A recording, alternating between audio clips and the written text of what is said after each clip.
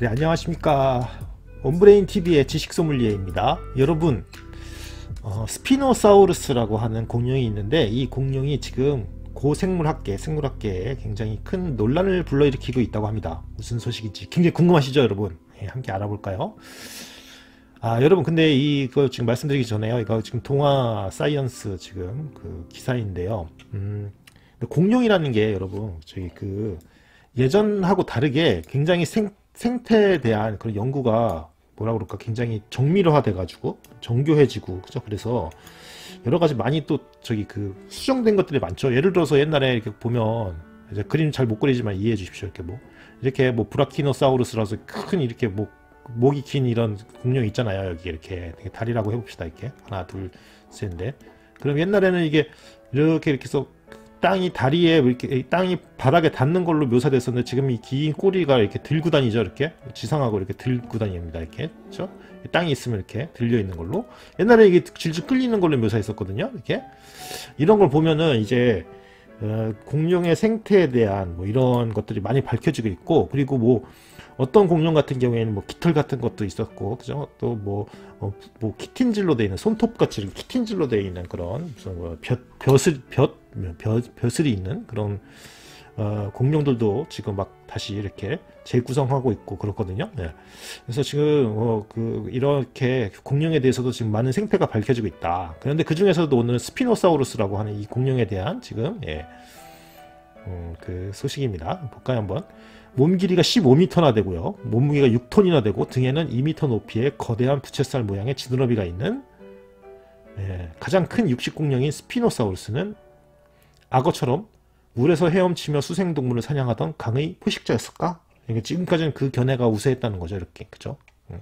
그런데 어, 스피노사우루스의 화석이 처음 발견된 지 지금 100년이 넘었지만 공룡의 생태를 놓고 고생물학자들 사이에서 논쟁이 이어지고 있다. 아, 그래서 어떤 교수들이 발, 스피노사우루스는 악어처럼 물속을 헤엄친 게 아니라 황새처럼 물가를 어슬렁거리며 물고기를 사냥했을 것이다. 그러니까 오히려 새에 가까웠다는 얘기네요. 파충류인 악어보다 그죠? 네. 그래서 스피노사우루스의 화석은 1912년 거의 완벽한 형태로 발견됐지만 2차 세계대전 중에 파손돼서 없어졌다. 이후에 일부 뼈조각 화석만 몇 점 발견됐다. 그래서 연구가 제한적이었는데요. 그런데 어, 여, 그간 여기저기서 발굴된 뼈 화석을 모두 모아서 이를 토대로 이 스피노사우루스라고 하는 것을 에, 구성한 복원도가 2014년에 사이언스에 처음 공개됐다고 합니다.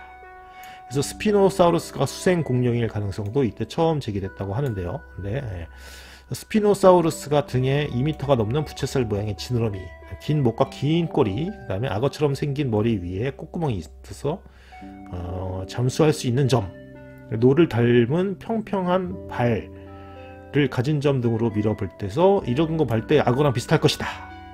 그렇죠? 그래서 어, 물속에 상당 시간 어, 시간을 보냈을 것이다 라는 것이 그동안의 학설이었는데 여기 보면 진짜 코가 요 위에 있네요. 그죠? 여기에.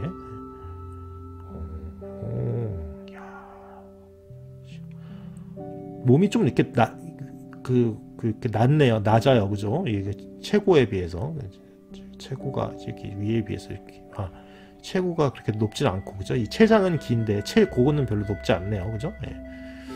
야, 즉 그거다, 그죠? 좀 그 악어랑 비슷하긴 하네. 악어도 이렇게 체고는 별로 높지 않은데 체장이 길잖아요, 그죠? 예. 신기하네. 그래서 뭐 반론도 많았다고 하네요. 그래서 어, 2014년 공개된 스피노사우루스의 복원 복원도가 끼워 맞추기식이었다. 그래서 어, 복원도에 따라서 컴퓨터로 시뮬레이션을 하면은 스피노사우루스 체형이 위아래로 높아서 물에 뜨지 못하고 뒤집힌다는 연구도 나왔다. 어, 그러니까 악어보다는 높으니까 체고가 그죠? 네, 그러니까 네, 물에 뜨지 못한다. 음. 그래서 이번에 발표된 논문은 스피노사우루스가 왜 물속에 살 수 없는지 수생 공룡설을 조목조목 반박한 종합판이다. 그래서 논문에 따르면 스피노사우루스는 악어보다 꼬리 근육은 적지만 길이는 훨씬 길어서 물에서 저항을 더 많이 받아 체형상 헤엄치기가 쉽지 않고 그죠? 스피노사우루스의 콧구멍이 위아래가 아니라 옆으로 긴 형태다. 그래서 악어처럼 물에 콧구멍을 내놓고 숨쉬기도 불가능하다. 그렇다고 날카로운 발톱이 달린 앞발로 육지를 활보하지는 못했을 것이다. 그래서 물가에 살았다는 얘기군요. 그래서 결과적으로 스피노사우루스는 악어보다는 황새처럼 물에 다리를 담그고 터벅터벅 걸어다니면서 긴 주둥이로 물고기를 먹으며 살았을 가능성이 높다. 근데 여러분, 근데 이것도 지금 잠정적인 것이고 더 스피노사우루스의 전체 화석이 잘 다 발견되면은 온전하게 발견되면 그죠? 또 새로운 학설이 나올 수도 있겠죠. 예. 야, 혹시 여러분 화석 좋아하고 어, 고생물학자가 되고 싶은 어린이 어린이라든지 아니면 그런 어린이를 자녀로 두고 있는 분들은 이거 꼭 가르쳐 주, 줘서 스피노사우루스를 발굴해 보라고 한번 독려해 주시기 바랍니다. 또 혹시 압니까? 어, 어, 엄청난 또 고생물학자가 될 수 있을지죠, 그죠? 되, 겠죠 어, 이런 걸 연구하면 그죠? 자, 그래서 어, 오늘 여기까지 하고요. 내일 더 재미있는 정보를 여러분 찾아뵐 테니까요. 꼭 봐주시고요. 예, 항상 건강하시고 안녕히 계십시오.